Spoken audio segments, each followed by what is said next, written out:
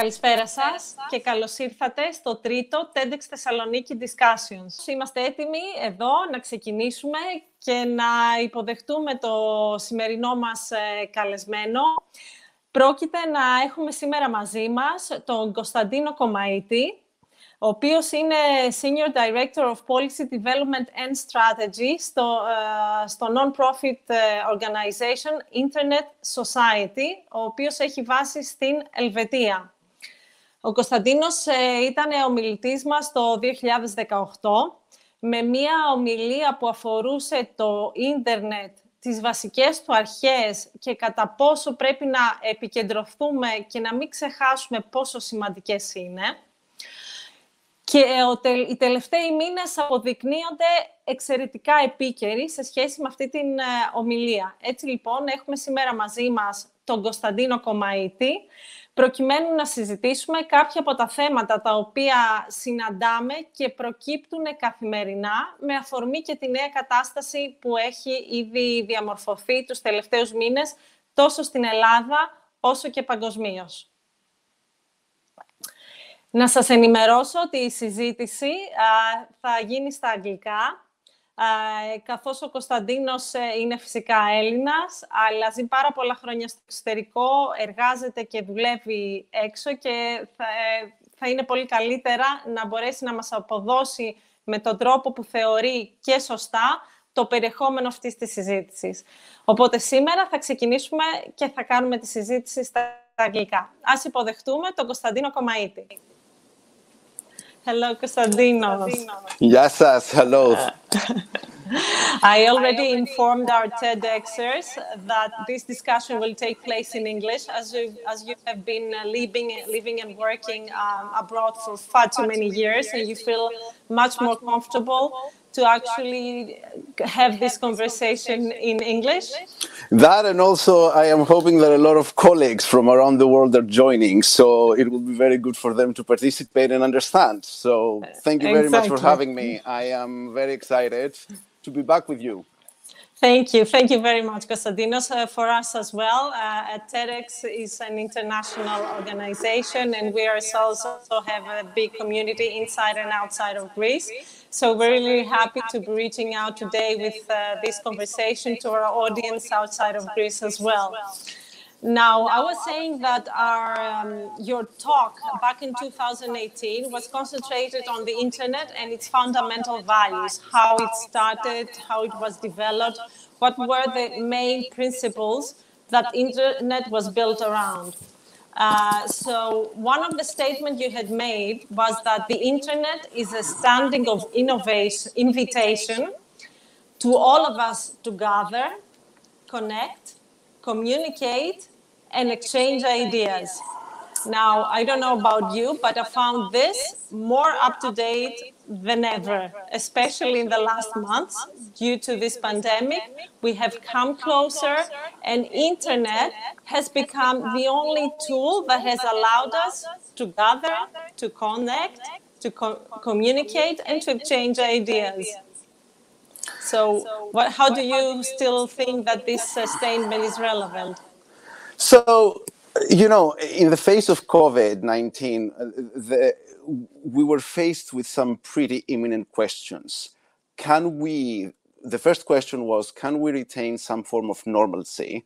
meaning you know work-wise or social-wise and the other one which was more important especially for governments and governance structures was is it possible to a certain extent for government to be able and still function in this instance of everybody being locked down including you know um, uh, governmental officials?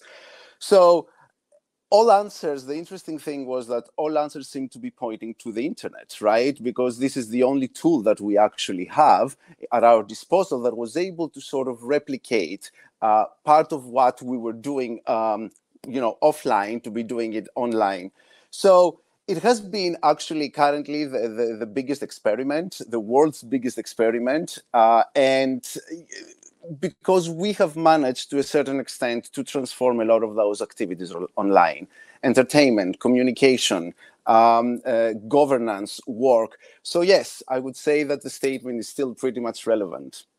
Can the internet sustain all this use, like we've seen that the, the majority of the population in, on this uh, on Earth, and basically the people who had the possibility to actually connect to the internet, they have used this opportunity. So, is this sustainable? Can the internet sustain us all?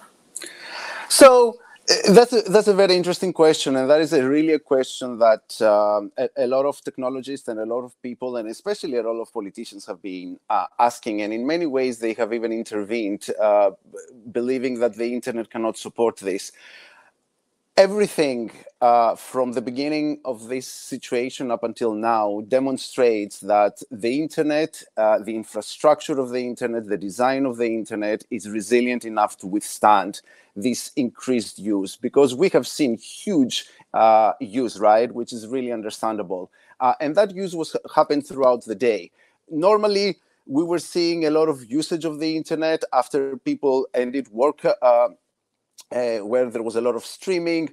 Uh, but right now, we are seeing that throughout the day, there is this increased and consistent use uh, across the board.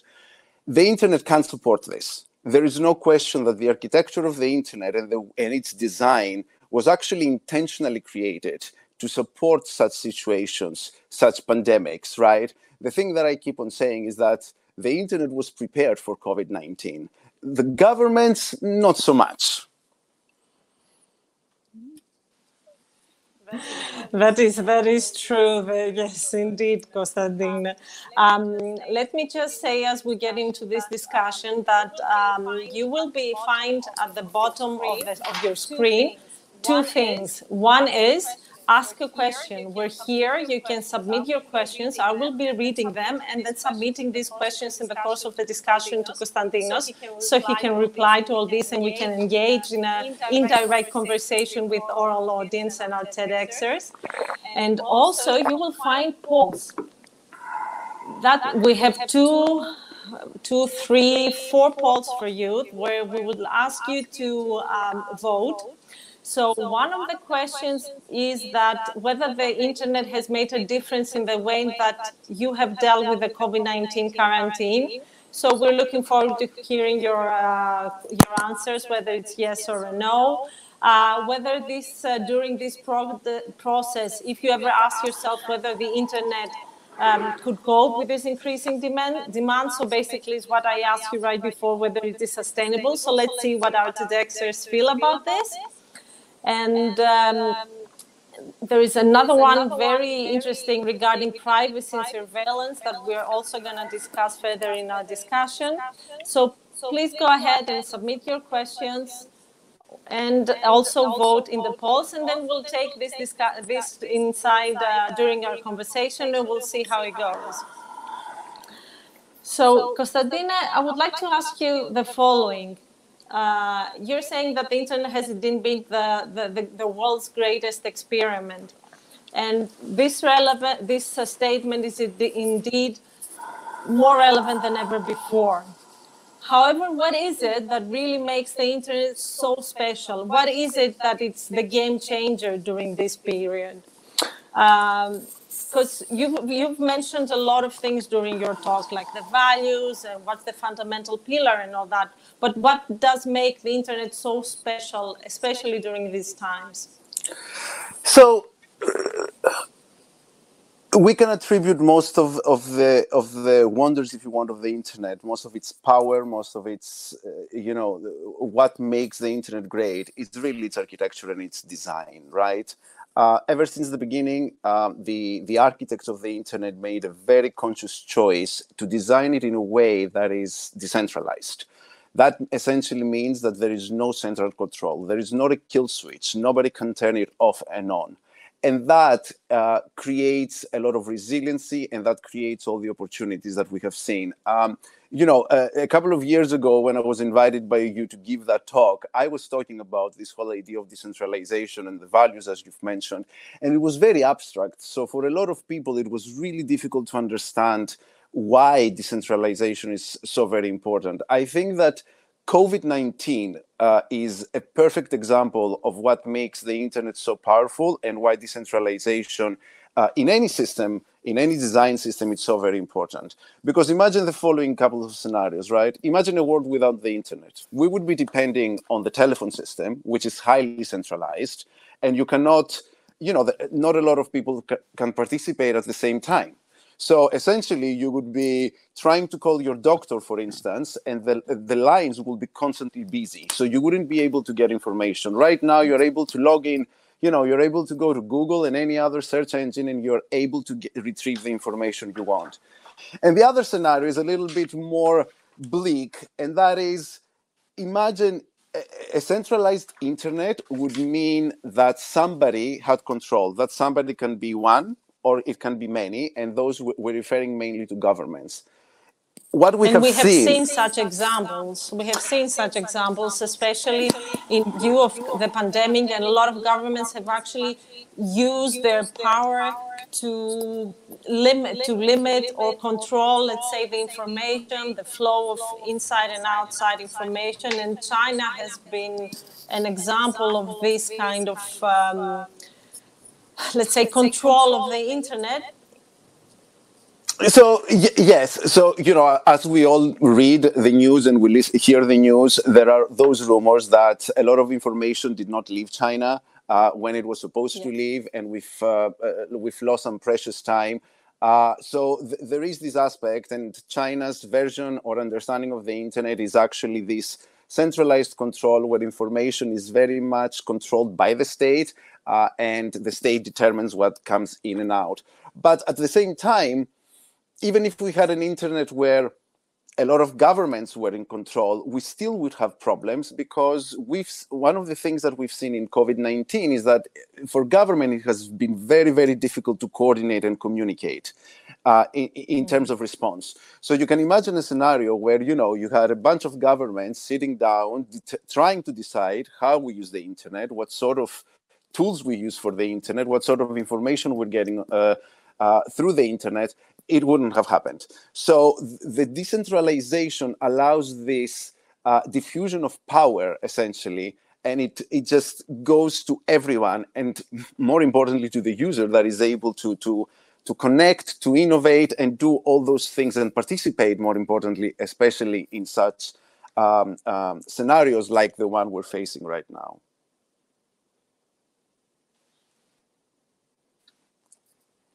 the question we have with, from one of our viewers that says that he would like to hear your view on the decentralized internet. so, like so I'm a huge like champion. Indeed. Indeed. And I would like to, uh, to point out two different parameters in terms of de- the decentralized internet. First, the, the fact that there are discussions about the split of the internet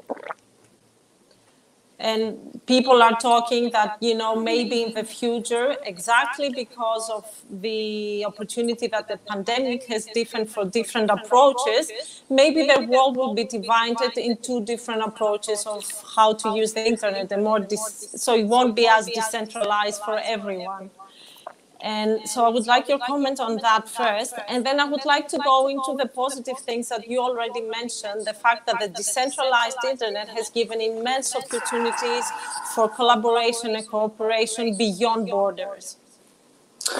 Yes, uh, so let's start with the first one. Um, one of the things that everybody needs to understand is that you cannot suddenly take the decentralized internet and make it centralized, right? I mean, you cannot change the architecture. The architecture of the internet is what it is. What can happen, however, what governments can do is impose policies and regulations and various measures that essentially, uh, in a way, start centralizing some of the information and the data that gets in. Uh, the perfect example, you know, the, the, the country that has really uh, mastered that is China, where where it's still connected to the internet, but everything is controlled in terms that in terms of the government determining what sort of information gets into the country.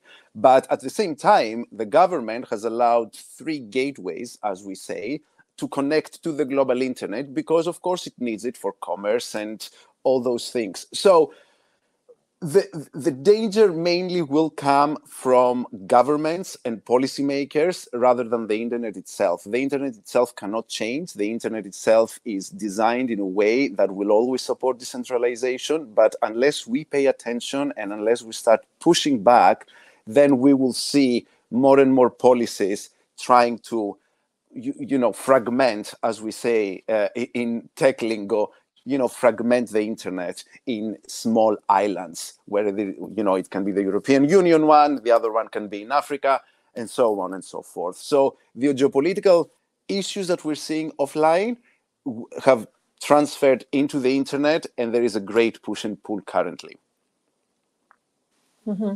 This is very interesting because actually that means that the internet is actually a reflection of the society. It's not something different.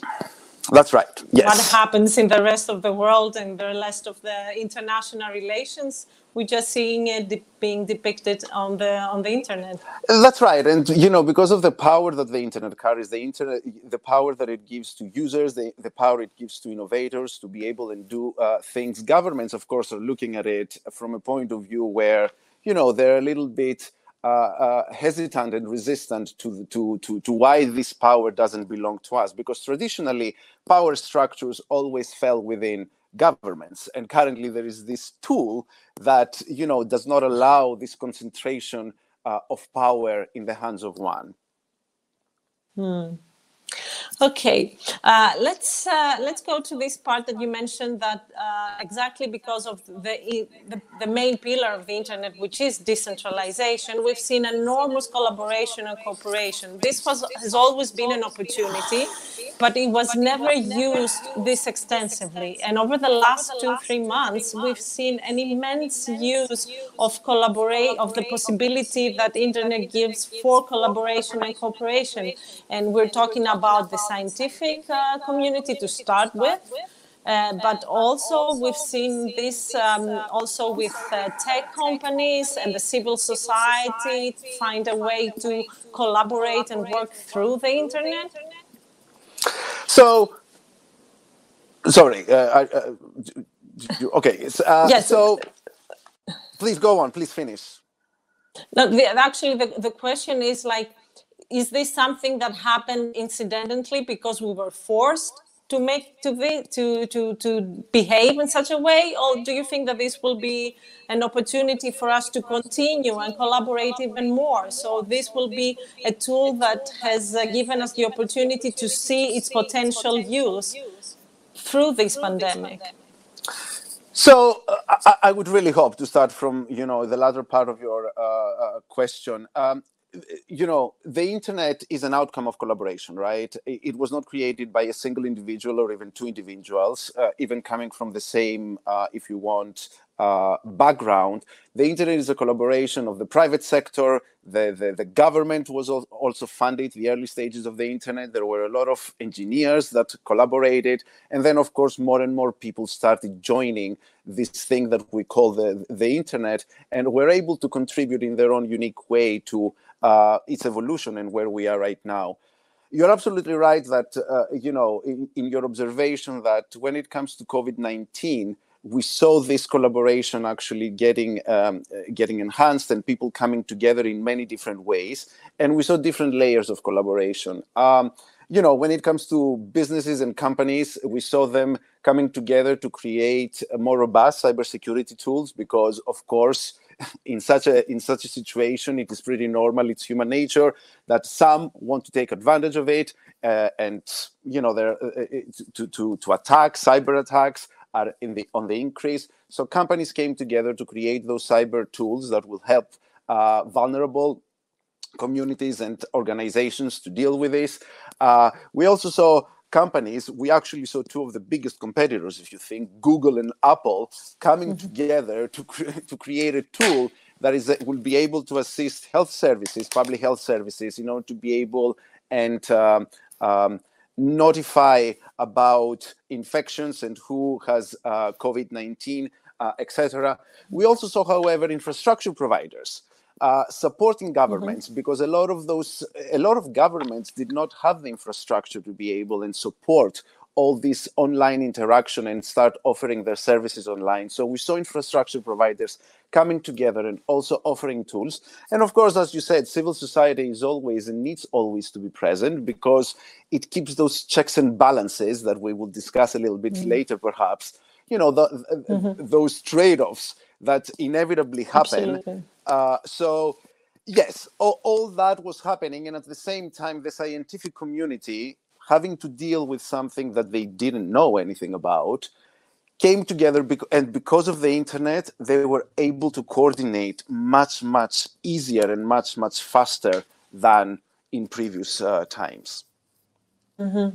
yes so as you said like for example greece has been also an example of how quickly we came to use the internet and put its use in place. Like things that would probably have taken years and they have been planning of doing all this uh, infra- online infrastructure for years and it hadn't happened we suddenly see it taking place in within two months or even less so and yes everybody I mean, was like surprised. It's like you know everything was all there everything was there everything was already waiting and we just didn't use it you know.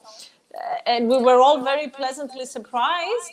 And also maybe we also were surprised by by looking at ourselves and how easily we moved to this online world well you know normally you need a very good excuse to do things and i think that covid actually 19 uh, you know provided that uh, that excuse to greece i have been following it very very uh, closely uh, and i have seen actually yes the, the great strides that have uh, been made towards digitizing and using the internet uh, more and more. Of course, you know, the question uh, I believe that everybody asks really, did we need COVID 19 for this to happen? But yes, you know, even in light of COVID, it was a very good excuse for. Uh, Greece to test its capabilities and to realize that you know moving online and moving digital, especially for some functions, uh, is a mm-hmm. must, right? Because it mm-hmm. streamlines and it really minimizes bureaucracy. So this is these are the add-ons that are happening because of the internet, and it's very good that countries take advantage of them. Mm-hmm. Um, you mentioned um, that there are trade-offs in every case. You know, you, you need to take the good with the bad, and then you need to try to eliminate against the bad. So, in terms even for the scientific community coming together, we saw that a lot of papers were published without going through the proper uh, uh, peer review process so that that could also hide some kind of dangers.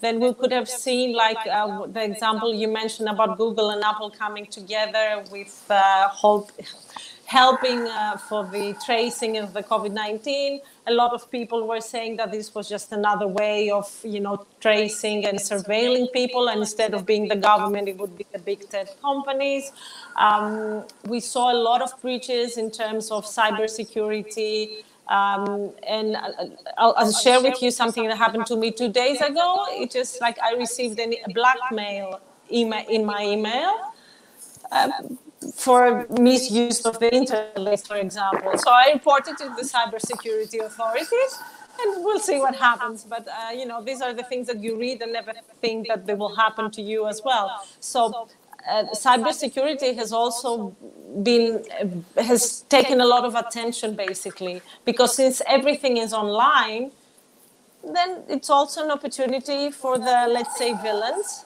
to attack the innocent uh, people uh, and um, there is a very interesting um, question i will share with you from um, one of our uh, tedxers. Penny, she, uh, I think it's Penny, she asks, uh, could you please share with us any examples, if any, within the EU of internet restrictions imposed by governments outside any panel related, oops, I just missed the penal related incidents, such as child abuse? Uh, I wouldn't be able to, to, to give you specific examples, uh, especially of child abuse. I can say that, uh, in particular in Europe uh, and everywhere in the world, you know, the, the uh, child protection and child pornography, of course, eliminating child pornography is, is a big issue, and everybody's working towards um, that end. Um, the the the one thing that I, I really hope that everybody understands is that the internet does did not create child pornography. What the internet did, unlike the the offline world, is that you know it's scaled, right? Because right now you have billions of people communicating with one another, and of, course potentially they can exchange those obscene images much faster. But when we are discussing child pornography, we really need to be very conscious of what we're discussing. And again, this goes back to the trade offs, right, that we were talking about. There is a very conscious effort, for instance, right now, uh, in the name of child pornography, to break encryption. And encryption is a very, very mm. basic and a very fundamental security tool that we all need because it protects us simple uh, users, our privacy, our communications, and the way we interact with one another.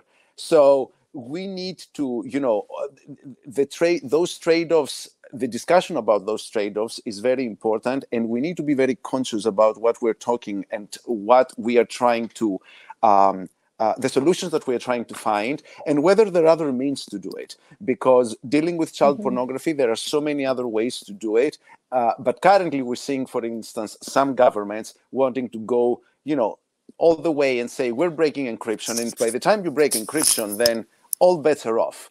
Surveillance mm. is on the rise. You can totally see exactly what every single person does on the internet. And that is a very, very scary scenario. I was reading today actually in an article. Um, I don't remember to quote the source, but maybe you you you know this or maybe not that this is a discussion that's going currently happening in the US, and they're actually voting on this. So it passed the first step of voting, let's say, with only one vote uh, um, pro. So they're hoping that maybe in the next step it will not get the same uh, support because that would mean that the United States, the state, would be free to surveil everyone's activity online without needing a warrant to do so.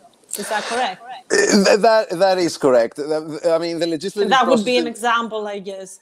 So this is what mentioned. I was referring to when I said a government. I think you called them out. Uh-huh. I was trying to be a little more more discreet, which is fine. This could but... happen to other to other states as well. This was just one article I read, so it's not that I'm pointing out the U.S. I'm just saying what I read, but I'm sure this this could not be the only case but uh, no basically currently we're seeing in the us a very concerted effort to to in the name of child pornography to break encryption. And uh, the, the, legislative process, of course, is, is quite long in the United States. Uh, uh, and mm-hmm. of course, you know, a lot of things are political because they have the big elections coming up in November.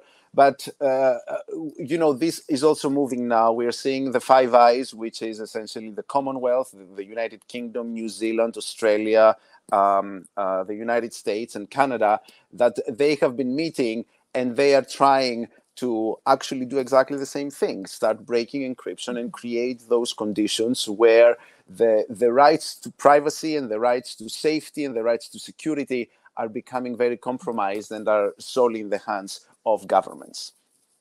Mm.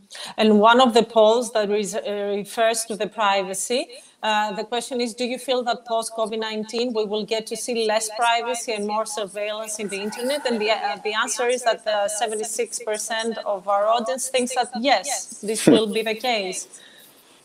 Does this also mean that we're going to get more familiar with this and it's going to be, ah, okay, doesn't mind? What would the trade-off be? Because this is also a very uh, important discussion that's happening online currently um, that because that COVID-19 and this whole pandemic situation has created a more fertile ground for such um, acts to take place later, even post-COVID. So because something was took place to deal with the pandemic, it would be easier to maintain these measures that could actually be uh, going against the laws of human rights and privacy and all that.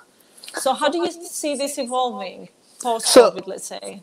So, I really hope that we don't normalize this and we don't accept mm-hmm. it as, as something that, you know, this is it and we are not doing anything. We, we need to push back and we need to start asking those questions because, again, currently, we are being presented with the following dilemma, right?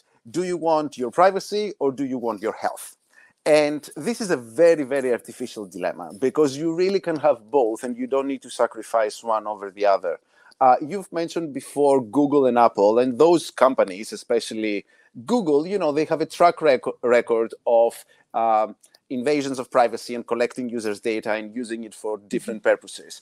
However, in this specific instance, the irony is that both of them are working on um, technology that is essentially decentralized and it protects privacy. And what we're mm. seeing is that governments are actually pressuring them to centralize this technology because they want to be able and collect data.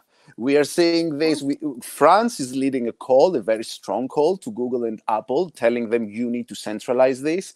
Australia did it as well, and um, uh, the United Kingdom is doing it as well. But the the interesting thing of all hmm. this is that despite those calls, of course, you know these apps work. And in Australia, for instance, everybody was using you know the the the, the, government gave them uh, the, the tracking uh, app they created a tracking a tracking app that was highly centralized and it was not working on an iphone. So they had to change it and make it decentralized because what would they do? Would they ask you know mm. millions of people to buy new phones because they wanted this uh, to work? So here we're seeing the technology actually offering much better solutions than go- than some governments. And there is mm-hmm. a, a pushback. But unless we as users start pushing back more intensely and actually demanding that those trade-offs um, um, first of all do not perpetuate but also questioning those trade-offs uh, there is a great possibility that there will be those uh, grabs and we will lose progressively our privacy. And we are talking here about, you know, and we have the GDPR that a lot of the European mm-hmm. states mm-hmm. went through a huge painful process trying to implement mm-hmm. it into law. And we see governments actually, uh, what they're calling occasionally even opposing the GDPR principles. So it's a very interesting uh, debate that currently is happening, and we'll see what's going to mm-hmm. happen mm-hmm. post COVID 19. Yes, indeed. Uh, I, I, guess, uh, you know, when it comes to choosing something, it, can, it depends where you're standing, what, where your shoes are. you know, and right now, or in the last, uh, two, for the last two months, we've been actually asked to choose between living and surviving and not getting affected and all that instead of giving up a bit of our you know freedom which we thought okay will be for a little while. But then i imagine that in the future in the coming months if this uh, as we start getting out of the first shock then we may be able to appreciate or look at this from a different angle and then actually put down all the facts and see what this means what are the exact trade-offs what are the dangers what are the opportunities as well Yes, and also trust, you know, and also as I said, questioning and uh, asking uh, uh, those very difficult questions, uh, and do not accept some of those, uh, you know, um, uh, either or um, propositions by governments. Right? Again, I go back to say it's not privacy versus public health. You can have both, and mm-hmm. we have seen that the technology can create uh, a situation where you can actually preserve both in a way that can achieve some of the goals with some limitations, mm-hmm. of course, right? Of course, if you have a centralized system, yes, maybe you're able to achieve much better results. But again, is this trade off worth it in a situation where this invasion of privacy can ultimately be uh, a continuous thing and actually become something that we normalize, and that would be the worst case scenario. Absolutely. Now, I know you're not a cybersecurity expert. However, I'm going to ask you two questions, and then you can answer to your knowledge or to your opinion on this. Um, one is whether do you would you I'm oh, sorry. is it possible to suggest some specific practical measures of protection for average internet users against cyber risks, social media attacks, uh, uh, phishing using COVID 19, uh, clickjacking, in, gen- in general?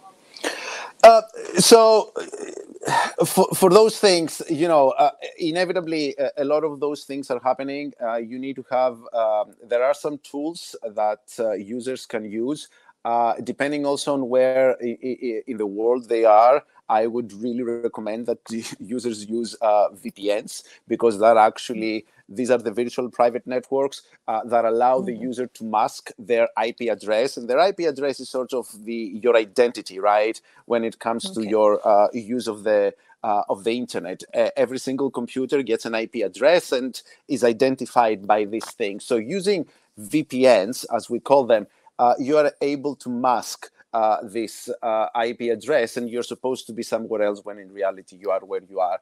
Um, the, the, the, only advice that I give, and I, this is the advice that I give also to my parents who are not very tech savvy, but they're using mm-hmm. the internet, is do not click on anything that you do not recognize. And currently, uh, especially when it comes to banks and financial institutions, they have made it very, very clear that they will never send an email asking for your password. They will never send an email asking you personal questions. Uh, if you do not, so being a little bit more alert when you're using the internet is good, but at the same time, you know, being uh, um, and being a little bit smart, right? Do mm-hmm. not do things that you normally wouldn't do in the offline world. No, so. Exactly. Yeah. So I'm going to ask it maybe a silly question, but I'm going to go ahead and ask it anyway. There are no silly questions. Any... Is there anything in the not in the in, in the way internet exists and functions that could actually work in a pre in a, in a way that can prevent such attacks or help us deal with such uh, cyber attacks? Um, not really. One of the interesting things about the internet is that when it was created, security was not a consideration because it was created between a bunch of engineers that they all knew each other and they were able to communicate and they all trusted each other. And uh, the the if you want the virtue and the vice at the same time of the internet is this whole idea of trust a lot of mm-hmm. relationships on the internet are based on trust. And if that trust is broken, then the internet doesn't break. It's just that you do not, uh, you know, you, you, do not interconnect, as they say in engineering lingo, with mm-hmm. that person who broke uh, your trust. Uh, ha- having said that, especially after 2013, and 2013 was a pivotal moment, if you want, for for security experts, uh, and um, was the Snowden revelations that's when we mm-hmm. all realize that the internet is very much is not immune to to to um, um, to invasions of privacy and cyber attacks. And the engineering community since then is actually working towards um, enhancing security um, and uh, ensuring that the right and appropriate tools are present so that they can protect users who are not technology savvy. Mm-hmm. Thank you. Um, we have a question from early on from Maria, so I'm going to ask it. It's not really relevant to what we're talking right now, but it's an interesting question. Do you believe that the digital campaign made in Greece for stay at home was a big part of his successful fight against COVID? So let me rephrase this question because since you don't live in Greece, you, I, you may not be able to answer this specific question. But do you think that um, digital campaigns, whether they happen on TV or online, so via the internet, could have uh, could happen in an impactful way in order to have positive results for whatever that campaign may be? Well, I would say yes, right? Uh, but that is a logical yes more than you know a fact-based uh, yes. Only on the basis that you know when you create something digital, you are able to just you know shoot it to every single medi- medium that is able to absorb it. So it creates some sort of a uh, you see it everywhere and by the time you see it everywhere you start buying into it and you start becoming more and more convinced that this is the way forward here we mm-hmm. we also had uh, digital campaigns every single country actually in the world i believe had mm-hmm. some form of digital campaign simply because they know what uh, that currently, especially everybody uses the internet, or most of the people use the mm-hmm. internet. Mm-hmm. So it's very easy to to to to get the message across to people, right? Because it allows this interactivity that we didn't see in previous campaigns, for instance, because we didn't have the mediums to do that. Mm-hmm. Um, and we have another question that regards this digitalization in general it again refers to the to the Greek situation. So it is uh, which is your what is your opinion about the new government measures for the digitization of the Greek uh, public authorities? Um, so maybe again, you, you may not have a clear idea of how things happen in Greece, but they have actually put in place this um, platform, online platform, where they have connected all the public services, or this is their aim and their the percentage is quite high at the moment. So whatever you need to do that is related with the public sector, you can go online and get almost nine out of the 10 things you need online. So what do you think um, so about the digitization of, of a state? And let me also bring in uh, in this discussion the, the, example of Estonia, which is a fully almost digitalized state. And we've seen that uh, a few years ago happen. It's not something that happened last year. It's almost a little under than 10 years, I believe. So the, the theory that everything gets digitized and especially governmental services is a very good one, right? Because it re- the immediate effect is that it it really minimizes bureaucracy. And uh, Greece is one of those countries that for many many years was suffering uh, a lot from bureaucracy, being one of the most bureaucratic countries literally in the world. But as they say, the devil always is in the details. Just because you digitize everything, it doesn't mean that you have the pill that will fix everything. You need to make sure that you have a robust uh, you have robust security measures, so you're able to protect those public uh, um, uh, documents, and they're not exposed to any form of cyber attacks, uh, or they can be stolen by adversaries. And you know, Greece has adversaries.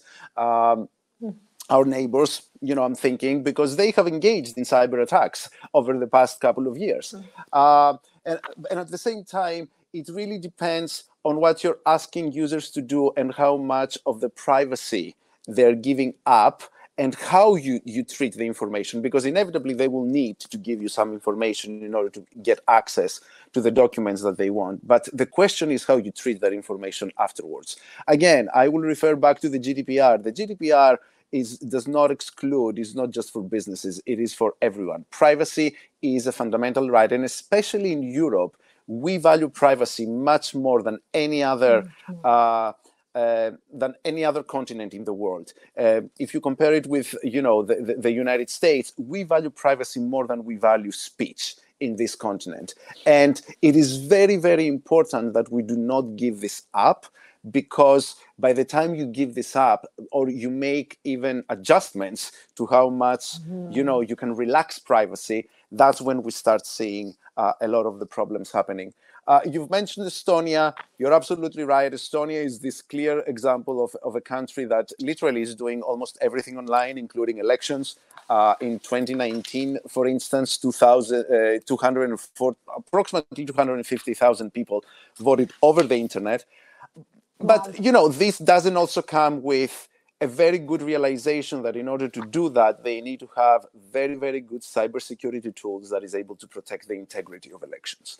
Uh, because by the time you move online and you start having elections online integrity becomes paramount right?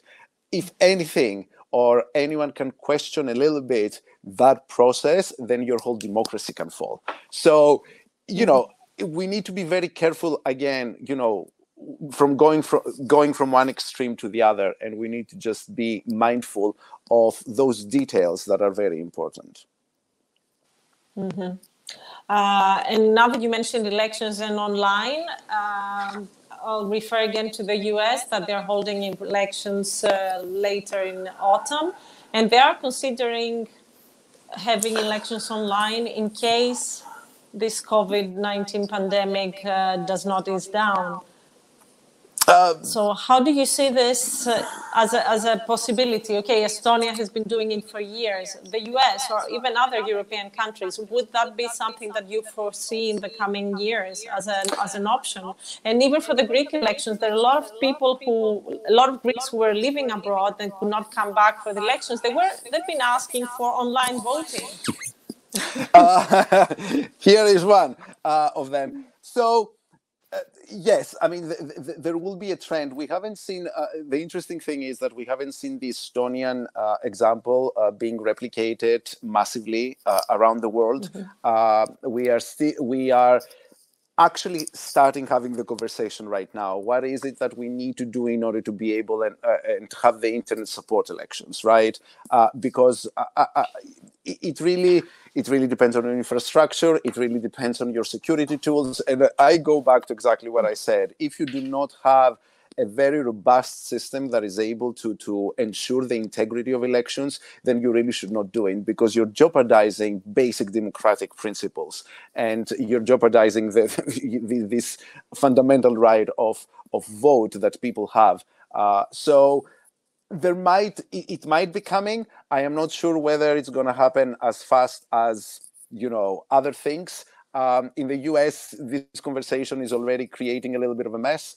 Uh, but we'll see uh, what's going to happen. Okay, taking this as an opportunity, I want to ask you two things. One is say that digitization in all fields is the future or is something that's going to be happening. A, we have seen work from home, so teleworking has been the main thing for the last two months. And we've seen a lot of companies and international big tech companies like Twitter and Google, I think, or Microsoft, who've been saying that from now on, they will allow people to work from home if they wish to. Um, then we've seen schools and education. We don't know whether universities are going to open the 20, for the next of the year for 2020 or even for 2021. Um, a lot of universities and schools are debating how they can transition to maybe on, going online. What would that mean with the actual relations between students and teachers? And then I, I would like your comments on these two things. And also, would like us to see whether this is something that's going to be happening. What does that mean for the other half of the population that's not connected to the internet? So that's exactly what I. What, what is the percentage we've been talking about? How what percentage of the population is actually connected? A and two, well connected. Yeah, so that's exactly what I want to say. We need to be a little bit cautious here, right? We need to be a little bit cautious that we don't get carried away with what is happening right now, and suddenly we forget all about normal life or you know social interactions and we just move everything online this is not the solution to anything uh, and i am saying that being a huge fan of the internet um, you're absolutely right first of all we need to be mindful that um, approximately 53 to 54 percent of the global population is currently connected. That makes approximately 43 percent a little bit more 45 percent not connected. This is a huge percentage still of people that are not able to do this what we're doing right now. They're not able mm-hmm. to you know uh, to do what other people are doing right now listening to us. They're not able to work. They're not able to communicate. They're not able to entertain themselves. So there's still huge work that needs to be done and that works that work going back to collaboration involves everything governments need to support more connectivity and they need to support more robust connectivity. They need to support also initiatives that are out there and they seek to create those conditions for connectivity. There is a really great example, and we've been talking, and actually, this example is happening in, in Greece. Greece. actually. Yes, right? in, in Sarantaporo, there is a community uh, of people where you know telecommunications companies did not go there because it's not financially uh, you know uh, interesting. interesting to go there let's say. Uh, so the local population there said okay we need some sort of connectivity. And literally it started from the yaya of of Sarantaporo where the grandchildren were not going back during the summer because they didn't have the internet. So they're doing something called community networks where they're coming together and they're putting up antennas and they're sure connectivity. And there are a lot of these things happening around the world and the internet society is very supportive of those initiatives. But it's not those are not the solution right? Those are complementary mm-hmm. measures to the collaboration that needs to happen by governments and by by the private sector in order to be able to ensure that connectivity. That is the first thing. The second thing is what exactly you've mentioned right even if we have connectivity how good that connectivity is um, there are majorly, as I said, the internet, the design of the internet is able to support all that, but there are, of course, we, we can always do better, and we do better. There is a lot of fiber that is being laid out in various parts of the world, and there is uh, and there it will require collaboration between countries. And unfortunately, currently the way the world uh, is moving, this is becoming increasingly difficult, especially for landlocked, landlocked countries, which depend for their mm. connectivity. Mm from the countries, their neighboring countries, because that's where they get the cables from, you know, the undersea cables essentially, right? So they oh, need, so true. there are all those things that are in play um, that, you know, uh, of course will affect the way, uh, how fast we will move in some forms of this, you know, replacing some of the offline activities online. Um, I think that you're absolutely right. There are a lot of companies currently jumping into the bandwagon and saying, you know, you can work from home for, for as long as you want. Um, again, mm-hmm. I think it should be, there is always a balance. We cannot be jumping from one extreme to the other because those extremes come with a lot of consequences. And I'm not sure whether you you're picking it up or whether it makes the news in Greece, but one of the major consequences of this remote work currently are mental health issues there are a lot of people who are suffering because they're locked down and they're by themselves and they're in front of a screen all the time. So we need to be very, very conscious of uh, what we're asking people to do and how far we're willing to go with all that. Yes, I think what you what is really important out of the, this that you've mentioned is not exactly whether it's work from home or education online or it's like moving our entire life from the uh, from the society outside, contacting, communicating with people in the way we have been doing it so far, and try, and taking this uh, as if it's like a ball, and we put it in a different field, and that's, that's right. online. That's right. That's right. We, I think we this should... is what that creates problems, basically, like the, the, screening time, the fact that we we start our morning and we sit in front of the computer and we start in the morning and we end up spending all of our time doing all of our interaction, whether it's professional or personal, through a screen. What does happen with personal? what does this mean for the personal contact, and especially? Uh, I would take it also to the education sector. As I was reading this um, article again, where people saying that yes, it's it's great to have the internet to be able to do the online courses, but there is an element that it's not thought of, and that it's the human factor, the connection that the teacher can have with the with the with the student in terms of seeing whether it's tired, whether it needs more attention than someone else. Uh, when you just say hi as someone crosses in front of you, leaving the room, different kind of social interactions as a student and a professor. Yes, because you know, before the internet, I mean, teachers are also pedagogues, right? I mean, my parents are teachers, so uh, mm. they, I, I, know exactly. They are. It's not just transferring knowledge; it's about it's it's a whole suite of things that you do. So you know, for the time being, replacing this and using the internet, so so as students continue with uh, with you know. Uh, with um, the, their studies and they don't lose this consistency is great but you should not replace this because this cannot be, uh, you know, the human interaction can never be replaced. Mm. We have a very interesting question from Albertos, so I'm going to go ahead and ask it. According to your experience as a member of the Internet Society, can you describe the main opportunities and main risks of Internet usage in Europe for the upcoming three years? Ooh. And part B, how the AI will change the use of internet. Okay, um, the, let's start with uh, uh, the great risks. I think that the you know cybersecurity is is potentially one of those uh, of those big risks.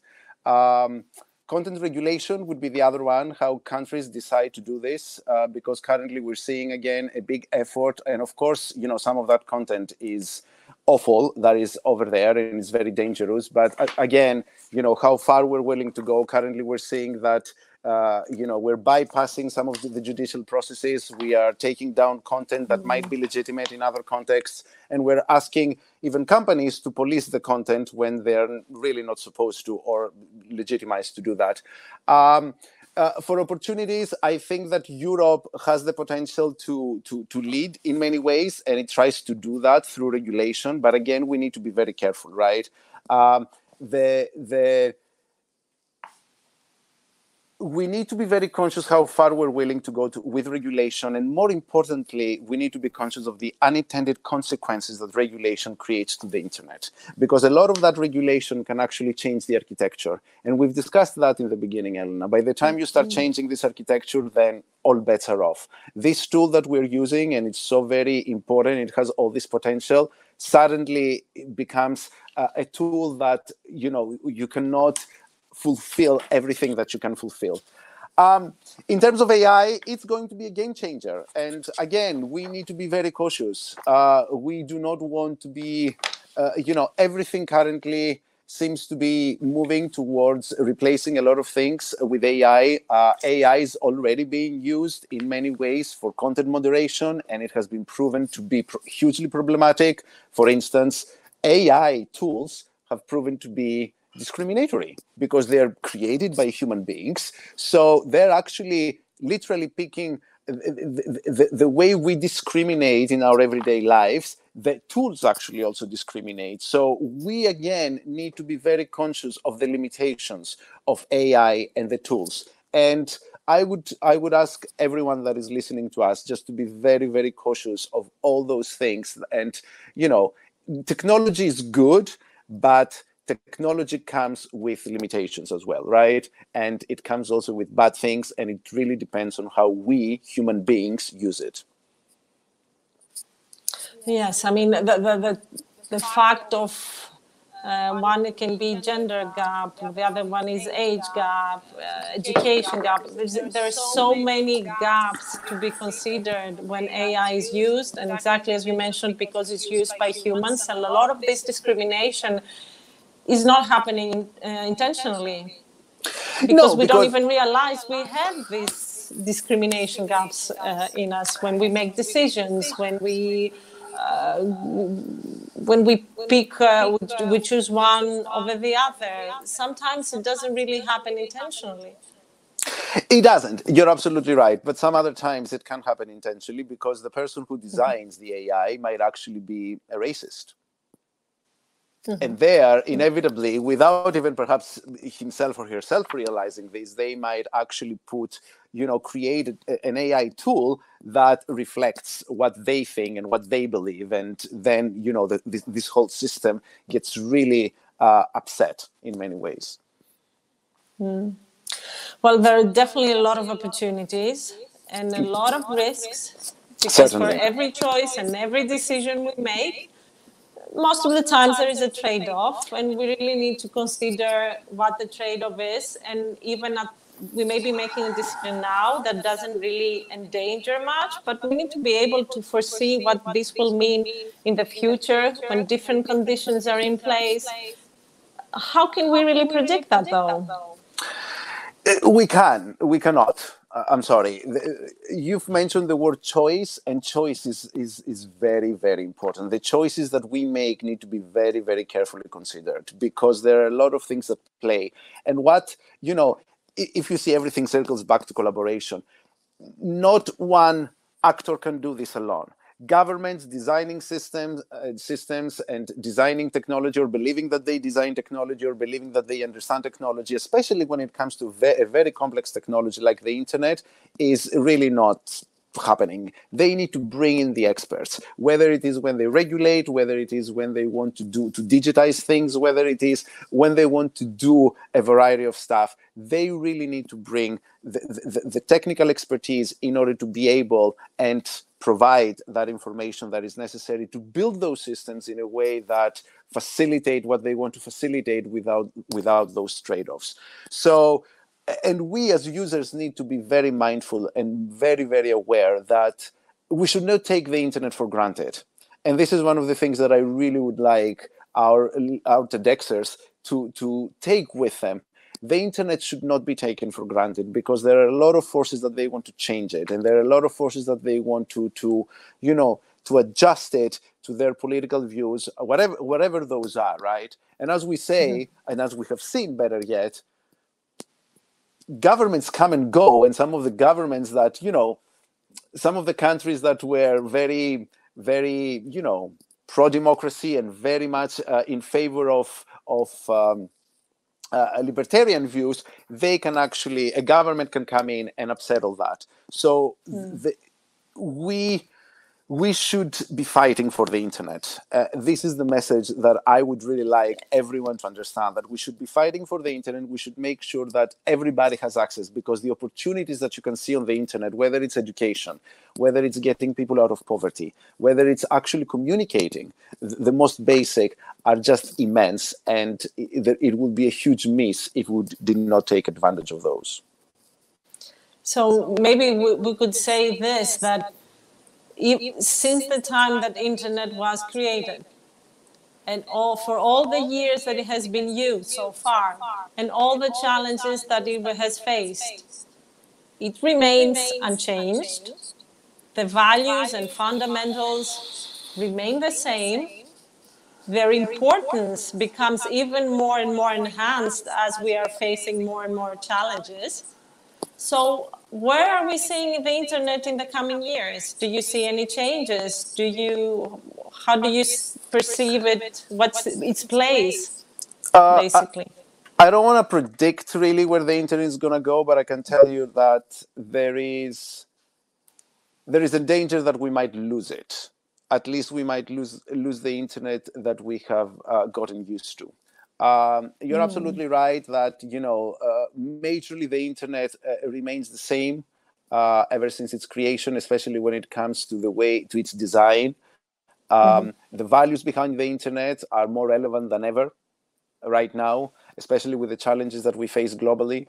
Uh, but at the same time, unlike um, in the past, what we're seeing is that there is a very concerted effort to grab it and change it, uh, especially by governments. And there is also a very concerted effort by some businesses that they want to use it in order to become bigger and stronger and bigger and stronger. So th- there are multiple, if you want, attacks, uh, and we need to be um, resistant because the internet is resilient, but the internet itself cannot do it, right? It needs its people. It needs people to participate, it needs people to innovate, and it needs people to question all the time those decisions that are being taken on its behalf. And it's actually a tool. It's not like it's the solution to everything. Precisely. It's a tool, and we have this significant, important, powerful tool to our disposition that we can actually use in different cases with different ways but we need to have it available in order to continue having it available to us freely we need to protect it as you say. exactly. Exactly. Okay. Well Constantine, i think we can uh, wrap up this uh, wonderful discussion we had today. it's been an hour that you've been with us and answering some of the questions from our TEDxers and people who have uh, following us today and engaging in a very interesting discussion and my takeaways, I would say that is first of all, we need to maintain the internet decentralized as it is, because this is what gives power to us and to people who use it. We need to make sure that the equality around internet is expanded. So 53% five of the total global population is not enough. That that means that either you or me wouldn't be uh, here discussing this without the internet. So we need to make sure that it's expanded to everyone and we need to fight for it. That's exactly uh, in 2018 during the TEDx talk. I just finished by saying, please fight for it. I'm going to finish with exactly the same message. Please fight for it because it's worth saving and it can really be uh, a game changer personally, professionally, uh, in terms of governance, in terms of uh, progress. Uh, and yes, there is a lot of hope that we can place on the internet, but the internet cannot do it by itself. Thank you very much, Constantina. Thank you very much. We wish you all the best. And thank you for being with us a second time. Εγώ σας ευχαριστώ. Thank you. Thank you, Constantina. Bye. Σας ευχαριστούμε πολύ που ήσασταν και σήμερα μαζί μας. Ελπίζουμε πραγματικά να απολαύσατε την συζήτηση. Καλό σας βράδυ.